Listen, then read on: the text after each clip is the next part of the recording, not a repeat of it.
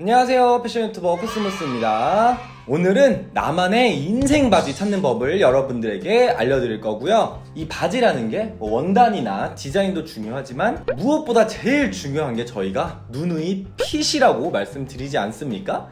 방법을 알려드리기 전에 앞서서 일단은 자신의 체형을 먼저 파악하는 게 가장 중요하고요. 뭐 허벅지가 조금 있는 편이라든지 나는 좀 허리가 길고 다리가 짧은 편이라든지 저처럼 좀 배가 나와가지고 허리 둘레가 좀 큰 편이라든지 어, 이 부분을 먼저 알고 있어야 여러분들이 인생 바지를 찾을 수 있고요.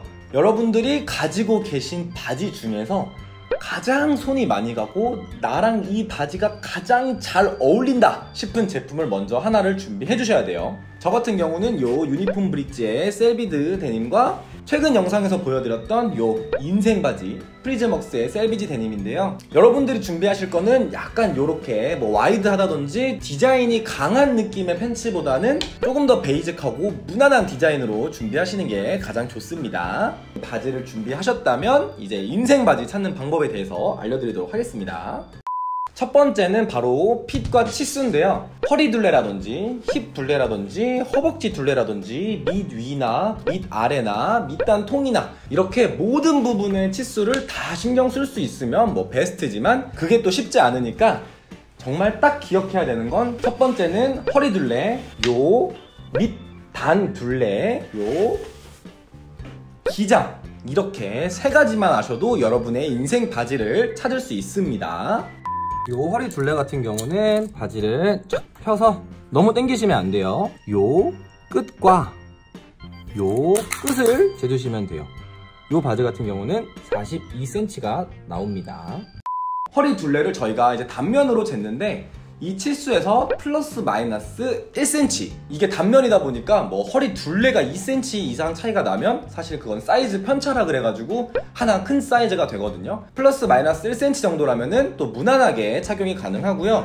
여기서 주의해야 될 점을 제가 알려드리면 보통 브랜드들에서 이게 사이즈 치수라고 잴 때는 원단과 원단 끝을 재요. 허리 단면이 같더라도 입었을 때 되게 타이트한 옷이 있고 또 얇은 옷이라면은 되게 또 넉넉한 느낌이 나거든요 그래서 이 허리 둘레를 참고하실 때는 꼭 이 원단이 두꺼운 원단인지 얇은 원단인지를 같이 생각을 하시고 참고를 하시면 좋을 것 같은데 일반적으로 이제 수의 개념을 쓰는데 수가 높을수록 얇은 옷, 수가 낮을수록 두꺼운 옷이라고 생각하시면 되고요. 이런 데님 같은 경우는 온즈로 재요. 그래서 온즈가 높으면 두꺼운 옷, 온즈가 낮으면 얇은 옷 정도로 생각하시면 되겠습니다.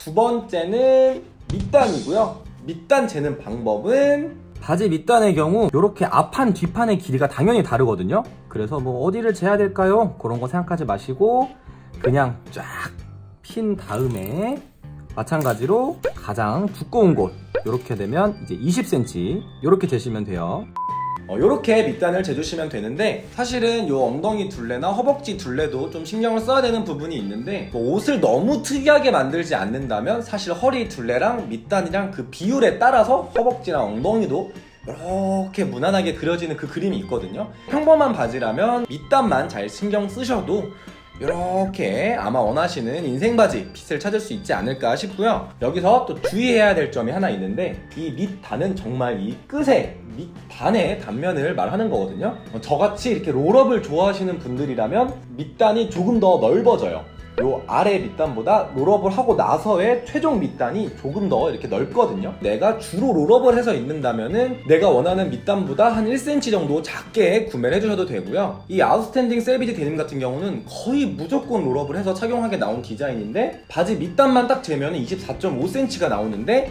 이렇게 제가 입는 식으로 입으면 단면이 26cm가 나와요 이 단면 1.5cm 같은 경우는 사실 전체적으로 바지 핏이 엄청 많이 바뀌는 요인 중에 하나니까 롤업을 하실 거라면 꼭 그 부분 참고해서 밑단 선택하셔야 됩니다. 네 그리고 마지막은 요 바지의 총 기장이고요. 바지 총장의 경우는 요 왼쪽 끝 허리 끝 모서리에서 바지 끝 가장 긴요 부분을 잰다고 생각하시면 되고요. 이렇게 줄자 하나를 놓고 달달달달 네, 이 바지 같은 경우는 이제 97cm가 나옵니다. 저 같은 경우는 한 96에서 97 정도 되면은 딱 복숭아뼈에 크롭으로 잘 떨어지는 느낌이고 롤업을 할 거라면 약간 턴업식으로 확 접어서 올릴 건지 이 정도 살살살살 이렇게 해가지고 살짝 투톤 느낌만 낼 건지 이런 부분을 참고해서 구매를 해주시면 좀 요 기장에서도 훨씬 실패를 안 할 수 있고요. 이런 일자나 와이드 팬츠 같은 경우는 밑위나 허벅지가 되게 넉넉하게 나와서 크게 신경 쓰실 필요가 없는데 좀 슬림한 바지를 하고 싶다라고 하시는 분들은 밑위 길이가 되게 짧고 뭐 좀 골반에 걸쳐서 입는 그런 식으로 나온 바지도 되게 많아서 그런 부분까지 신경 쓰신다면 아마 여러분들의 인생 바지를 찾을 수 있지 않을까 싶습니다. 그리고 마지막으로 정말 꼭 주의하셔야 될 점이 하나가 더 있는데 모든 의류가 세탁을 하면 사실 수축이 있긴 있거든요.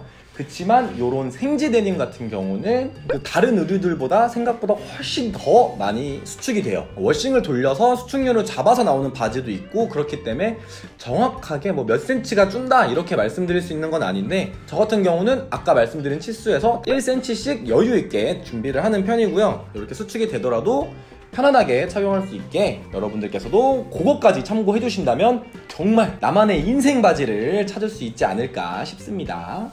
그리고 뭐 좀 와이드하거나 벌룬 팬츠 같은 핏은 허리 둘레랑 뭐 총 기장? 요 정도만 맞추신다면 바지 자체의 디자인이 넉넉하기 때문에 또 되게 편안하고 또 그 바지 나름대로의 디자인대로 입을 수 있기 때문에 음, 좀 실패할 가능성이 없지만 요렇게 조금 일자 핏이라면은 제가 오늘 알려드린 방법 꼭 참고하셔서 여러분들의 인생 바지 득템하시길 바라겠습니다. 오늘도 저희 영상 재밌으셨다면 구독, 좋아요 꼭 눌러주시고요. 알림 설정까지 꼭 부탁드리고요. 다음엔 더 유익한 영상으로 돌아올게요. 안녕!